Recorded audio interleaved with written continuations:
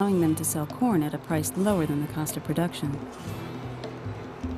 Small scale Mexican farmers can't compete with the low prices, so they lose their market to cheap imports.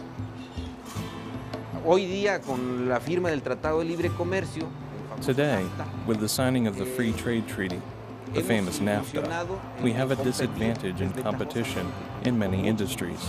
Muchas industrias que producen Many industries that are subsidized, eh, that are supported by a government, gobierno can bring corn, for example, at costs far below the production costs in the Mexican countryside. producción del campo mexicano.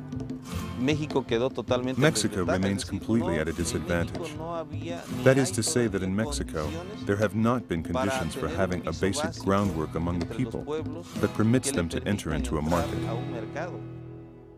A un mercado. As farmers begin to find that small scale farming can no longer sustain them and their families, many are driven north to the United States to find higher wages. Migrant work and low paying blue collar work still mean a big pay increase, and dollars stretch much further than pesos in Mexico. Sí. Eh, muchos sal, eh, Yes, many leave. a buscar a We leave to look somewhere else, to other countries, en busca de- in search of improving ourselves a little. Mejorar. Saturnino and his son Antonio both crossed the border to work in the lemon groves of California. Saturnino spent three years there, waiting for the day when he could return home to his family. Bueno, eh, una de las ventajas que tiene One of the que hay que advantages about migrating to the United States is that if I make si $100 there gano 100 dólares, and I send it here to Mexico, it would be a thousand. Serían mil. Entonces, aquí para que yo me In order for me to make a thousand pesos here, I need to work about two weeks. And there I can make it in one day. me los puedo ganar en un día. Ahora ya, este, pues, gracias a Dios con la ayuda de Now, thanks to God, with the additional help from my husband, who left to lado, suffer on the other side, we now at least have enough to get by.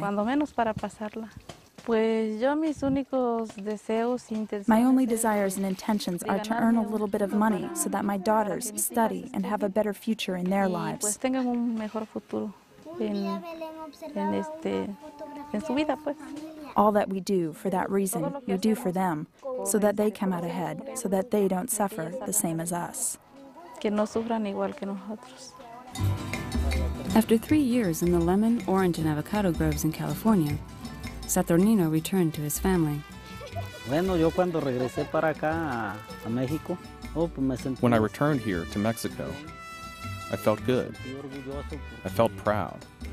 I found my whole family, o sea, toda mi familia fue. Y pues la verdad yo me sentí eh, and I was proud of them de ellas pues, because they were all still together.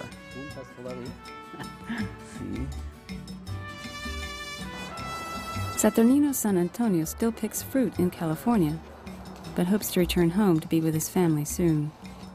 Pues yo aquí tengo ya I have been here four years already. de quedarme aquí. ¿no? For me to stay here, well, no. No, I haven't thought about that. I want to go to México. Hopefully this year I'll go. My sisters are studying because at least here I'm helping them. les estoy ayudando aquí. Right now, they have the opportunity to study. tienen oportunidad, pues, estoy- Now that the opportunity presented itself, y pues le I want to help my parents as well. a mis padres. Lo mejor que puede pasar es que precisamente The best that could happen is that, in fact, the immigrants help to increase the quality of life of those who remain. de, de los que se quedan. Aquí Here, outside our house, a block away, eh, are indigenous families going to the monetary exchange familias indígenas, to exchange the dollars that are arriving from their children. dólares que les están llegando por parte de sus hijos. O sea, ellos están mandando In other words, they are subsidizing the communities a sus comunidades so that they don't lose their own que no se identity. pierda la propia identidad. The race towards globalization probably won't slow down or go away. As Christians, we have a responsibility to our global neighbors whose lives have been devastated by this unfair race to accumulate wealth through more global connectedness. Transnational corporations profit most from the global marketplace, and the decisions we make every day allow those corporations to profit. It is only by making choices based on conscience rather than money that we can begin to counter the impact of economic globalization. For example, we can buy the cheapest products we can find, or we can choose to spend a few more dollars to buy goods that are fairly traded. The challenge is to shape globalization so that it benefits the world's impoverished majority not just a privileged few. As Christians, we can embrace just consumer choices while advocating for more just global economic policies. Eh, yo creo que aquí el reto es cómo So I believe that the challenge is how to reconsider globalization from the bottom up. We will think from an empty stomach how globalization should be, so that our stomach isn't empty. We have to think from the perspective of a child or an uneducated woman, so that from there it is globalized. Here, one must offset economic globalization with the globalization of justice, with the globalization of respect for human rights, with the globalization of a human economy.